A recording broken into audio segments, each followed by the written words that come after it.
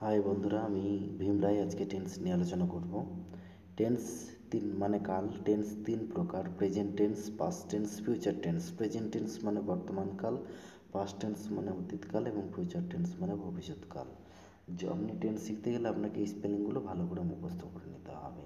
প্রথমত টেন্স তিন প্রকার এবং পরে আবার টেন্সের চারটে করে ভাগ আছে প্রত্যেকটা টেন্সের যেমন প্রথমটা হচ্ছে ইনডিফিনিট টেন্স বা সিম্পল টেন্স আমরা বলে থাকি, বাংলায় সাধারণত দুই নম্বর কন্টিনিউয়াস টেন্স বা ঘটমান, তিন নম্বর পারফেক্ট টেন্স বা পুরা ঘটিত, চার নম্বর হচ্ছে পারফেক্ট কন্টিনিউয়াস টেন্স প্রত্যেকটা টেন্স তিন প্রকার এবং টেন্সের আবার চারটে করে ভাগ প্রত্যেকটার, ঠিক আছে?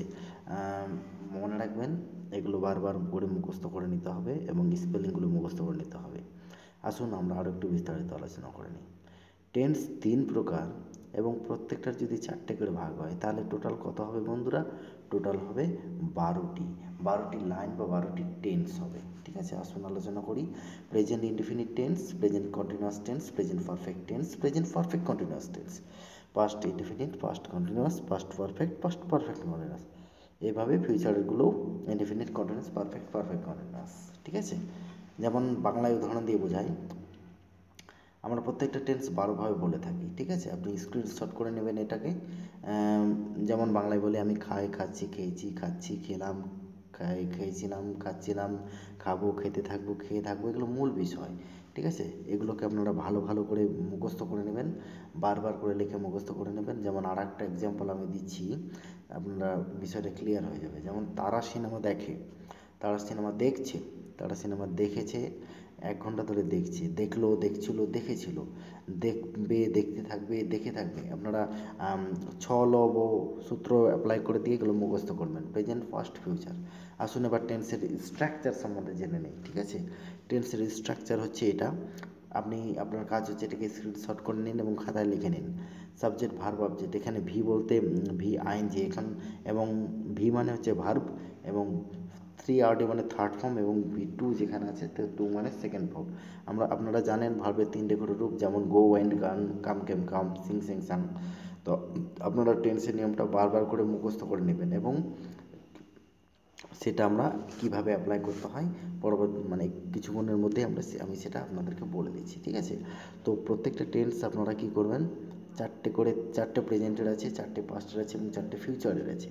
আপনারা বারবার করে এটা খাতায় লিখে নিয়ে মুখস্থ করবেন, ঠিক আছে? আসুন আমরা এটাকে প্রয়োগ করি। আমি ভাত খাই, সেই সেন্টেন্সটা দিয়ে করছি। প্রথমে সেন্টেন্সটা একটা করে ছেড়ে জায়গা ছেড়ে ছেড়ে ঢুকে নেবেন, ঠিক আছে? তারপর আপনাকে স্ট্রাকচারটা যেহেতু আপনার মুখস্থ আছে, সেই স্ট্রাকচারটা রিমাইন্ড করে নেবেন। আমি এখানে আপনাদের সুবিধার্থে টাইপ করে নিচ্ছি হ্যাঁ? পাশে আপনাদের টাইপ করে নিচ্ছি, যেমন সাবজেক্ট ভার্ব অবজেক্ট সাবজেক্ট রেমিজার কীভাবে অ্যাপ্লাই করব সেটা দেখুন। তো টাইপ করে নিলাম। তারপরে দেখেন, আমি ভাত খাই। আই এখানে সাবজেক্ট এবং ভার্ব হচ্ছে ভাত, এই খাই এবং অবজেক্ট দেখুন, আমি তাহলে কী হলো? আই রাইস তারপরে হচ্ছে, আমি ভাত খাচ্ছি। তারপরে I subject am is are am I এমিজারের মধ্যে এম ভার্বের আইনজি মানে হচ্ছে ইট থেকে ইটিং ঠিক আছে? ইট ভার্বের সাথে আইনজি তারপরে হচ্ছে, আমি ভাত খেয়েছি। তারপরে সাবজেক্ট ভার্ব তারপরে দেখুন হ্যাভেস আছে হ্যাভ অথবা হ্যাস তবে এটা আপনাকে জেনে নিতে হবে হ্যাভ কোথায় হয় হ্যাস কোথায় হয় হ্যাঁ? তারপরে ভার্বের থার্ড মানে বললাম থার্ড ভার্বের থার্ড ফর্ম ইটের থার্ড ফর্ম যেহেতু ইটেন তাই ওখানে ইটেন লিখে দিলাম এবং ভার্বের আইন থার্ড ফর্ম লিখে দিয়ে অ্যাপ্লাই করে দিলাম। তারপরে দেখুন আছে, আমি এক ঘণ্টা ধরে ভাত খাচ্ছি সাবজেক্ট হ্যাভেস হ্যাঁ মিন আমি এক ঘণ্টা কোথায় পেলাম? আমি সেন্টেন্সটাকে তৈরি করবার জন্য আমি এক ঘণ্টা কথাটা নিয়েছি, ঠিক আছে?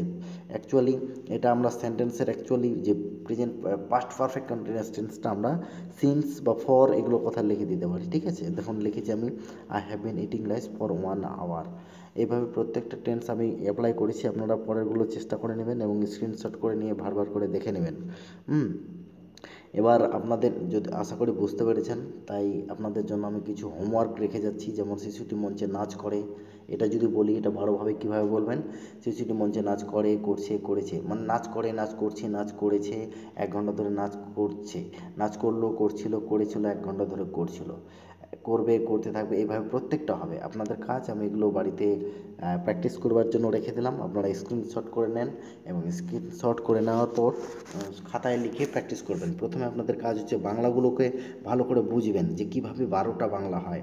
তারপরে সেটাকে জায়গা ছেড়ে ছেড়ে টেন্সের স্ট্রাকচার অনুযায়ী এক একে সাজাবেন। সাবজেক্ট ভার্ব অবজেক্ট হ্যাঁ? এইভাবেই সাজিয়ে আপনারা লিখতে পারবেন।